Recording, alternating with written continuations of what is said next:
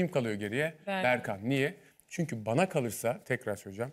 2020'deki Berkan'dan eser yok. 2020'deki Berkan'ın eee, nasıl diyeyim gözünün feri gitmiş. Enerjisi alınmış.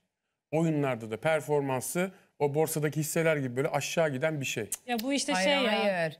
Biraz- son son Bazen performansa çıkıyor. bak. Yani Atakan şey gitmeden önceki ya. Ama performansına eski bakarsan bak Berkan değil iletişim. yapmayın ya. 3-4 Tamam, oyun tamam oynadı. katıl bak. Enerjisel olarak Şeyden sana beri Birleşme katılırım. Partisi'nden beri Berkan'ın performansı genel anlamda çok inişte. Ben, Ben yanlış mı çok- Son konuşuyorum? zamanlarda bayağı iyi gidiyor. Ben de şimdi onu söyleyecektim. 4-5 oyun. Son, 3-4 e, oyun. iletişim yani. oyununa baktığın zaman çok canla başla savaşan bir Berkan vardı. Gerçekten çok iyiydi performansı. Geçtim. Ondan sonra Atakan'ın girdiği potada yine e, dokunulmazlık oyunu kendisi için olduğu bir noktada ya da takımı için fark etmez. Hani takımsal olarak düşünelim.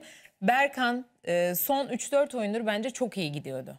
Yani ak- aklına gelmesi e, Batuhan'ın aklına neden geldiğini hep düşündüm.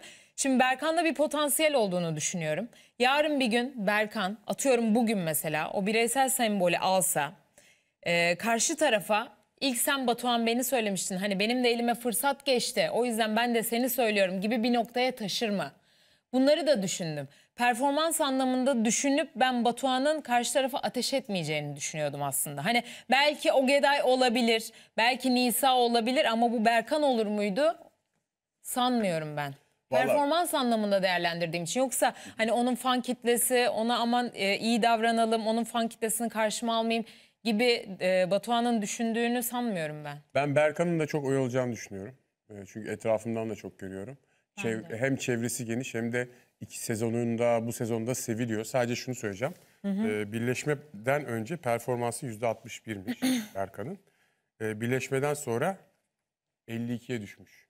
Şimdi bu Sakatlık doku- falan yaşadı ama birleşmeden E, sonra. sakat, ama şimdi bak sakatlık yaşadı da zaten çok sakatsan oynamıyorsun gibi bir durum var. Yani e, ben o sakatlığı tam biraz sayıyorum da bak şuna geleceğim. E, çizgi olarak kabul edersen e, 52'den 9 düş. Yani Berkan birleşmeden sonra %43, %44'lerle oynamış. Yani ortada Berkan'a yakışmayan bir başarısızlık var. Bir de bir insanı neye alıştırdığın çok önemli. Şimdi bak Berkan 60 ile oynuyor. Sonra birleşmeden sonra 44 ile oynuyor. Nisa 44 ile oynuyor. Birleş, birleşmeden sonra 60 ile oynuyor. Şimdi e, Berkan'ı aslında ikisinde aldığı verdiği aynıya geliyor hesap. Ama düşüş her zaman hayal kırıklığı yaratır ya.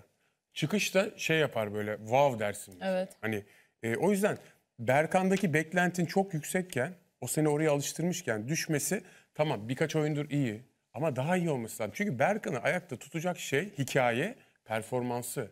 O da Ama ben gibi senin gibi niye performansıyla var. düşünemiyorum Hakan ya. Gerçekten çünkü son zamanlarda güzel performansları vardı Berkan'ın.